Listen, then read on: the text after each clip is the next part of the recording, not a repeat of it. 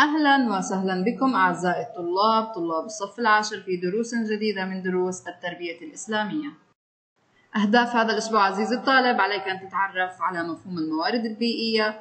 أيضا آه، تبين معاني المفردات وتركيب الواردة خلق الله تعالى الكون وجعله مسخرا للإنسان لينتفع بموارده. وجعل, وجعل هذه الموارد أمانة بين يديه ومره بالمحافظة عليها وحسن الانتفاع بها. تنقسم الموارد عزيزي الطالب البيئية إلى موارد متجددة وموارد غير متجددة.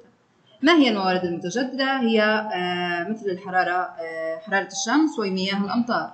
والموارد غير متجددة مثل المعادن والنفط. أيضا عزيزي الطالب وقد اعتنى الإسلام بحياة الإنسان وبيئته عناية كبيرة. وهيأ الله سبحانه وتعالى للإنسان كي يكون صالحا آه، لعيشه وحياته. وحتى تكون كذلك فلا بد من المحافظة على مواردها مثل المياه التربة الهواء والنبات والحيوان والمعادن وغيرها.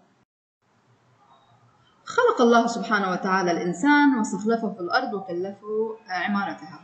وهذا يوجب عليه المحافظة على مواردها البيئية وأيضا المتنوعة حتى يستطيع العيش على هذه الأرض.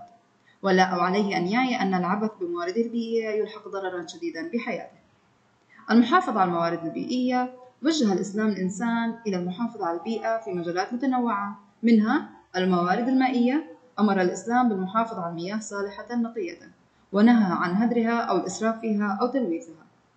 قال تعالى وكلوا واشربوا ولا تسرفوا إنه لا يحب المسرفين.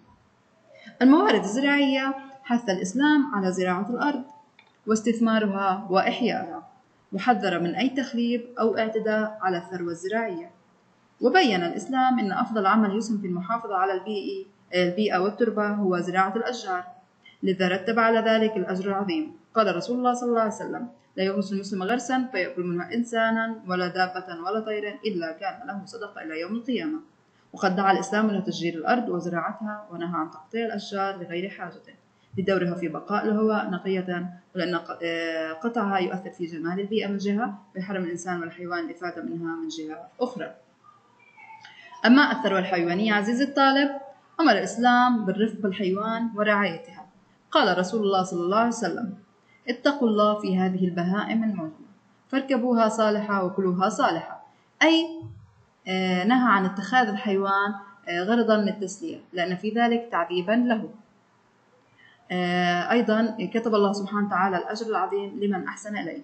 فعن رسول الله صلى الله عليه وسلم إن رجلا رأى كلبا يأكل الثرى من العطش. فأخذ الرجل خفه فجعل يغرف له به, به حتى أروى. فشكر الله له فأدخله الجنة. نهى الإسلام عن إيذاء الحيوانات وحبسها أو قتلها وتعذيبها وتحميلها ما لا تطيق. فقد روى عبد الله بن مسعود فقال كنا مع رسول الله صلى الله عليه وسلم في سفر فانطلق لحاجته فرأينا حمرة معها فرخان. فأخذنا فرخيها فجاءت آه، تعرش آه، تعرش. فجاء النبي صلى الله عليه وسلم فقال من فجع هذا بولدها آه، ردوا ولدها إليها. أي علينا عدم إيذاء الحيوانات أو تعذيبها أو تحميلها ما لا تطيق به. عزيزي الطالب هناك يوجد في الأردن محمية ضانا وهذه المحمية مثالا عن تنوع الموارد البيئية في الأردن تحتوي على عيون الماء والهواء النقي والثروة الحيوانية المتنوعة والمعادن الطبيعية في آه، مثل النحاس وغيرها إضافة إلى الغطاء آه، النباتي الذي يغطي مساحات واسعة. وتعد آه، محمية ضانا أكبر محميات طبيعية في الأردن وتقع في لواء سيرة في محافظة الطفيلة.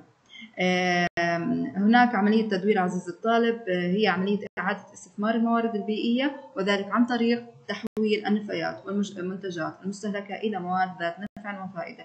وتبدأ هذه العملية بتصنيف المواد المستخدمة ووضعها في حاويات خاصة لكل مادة آه، لاستخدامها في آه، ما يفيد. إذا عزيزي الطالب الموارد البيئية آه، هي كما قلنا موارد متجددة وموارد غير متجددة. المتجددة مثل حرارة الشمس مياه الأمطار وغير متجددة مثل المعادن والنفط شاكرا لكم أعزائي الطلاب حسن استماعكم وتعاونكم